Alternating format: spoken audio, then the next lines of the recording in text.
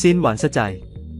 ซีนหวานสะใจนายณภัทรประกาศยิงจุดโทษในงานบอลช่องสามเพื่อใบเฟิร์นพิมพ์ชนกแต่กลับยิงไม่เข้าชนคานไปอย่างน่าเสียดายใบเฟิร์นที่ให้กำลังใจทางไกลถึงกับหลุดพูดออกมาจากกรี๊ด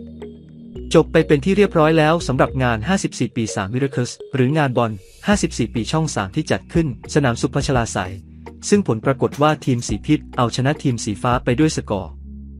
3-2 โดยที่ในงานนี้ในช่วงเวลายิงจุดโทษสุดระทึกใจ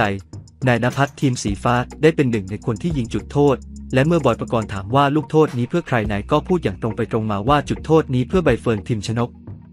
ส่วนใบเฟิร์นที่งานนี้ติดภารกิจที่ต่างประเทศก็ไม่พลาดที่จะดูบอลและเป็นกำลังใจให้นาย และพอได้ยินว่าในเตะลูกนี้เพื่อใบเฟิร์นก็ทำเอาใบเฟิร์นกรี๊ดลั่นห้องพร้อมกับพี่ๆทีมงาน ช่างแต่งหน้าความรักส่งผ่านจอ iPad ให้มาแม้จะไม่ได้ไปเชียร์ถึงขอบสนาม แต่ปรากฏว่าเมื่อนายยิงลูกโทษไปแต่ปรากฏว่ายิงจุดโทษ ไม่เข้าก็ยังทำเอาเสียงกรี๊ดดังลั่นเหมือนเก่านายเองก็เดินมาที่กล้องยกสองมือไหว้ขอโทษส่วนใบเฟิร์นก็หลุดออกมาแบบน่ารักน่ารักเพราะลุ้นตัวโก่งว่า ถ้าไม่เข้านะอายเขาแกส่วนผู้จัดการของใบเฟิร์นก็บอกว่า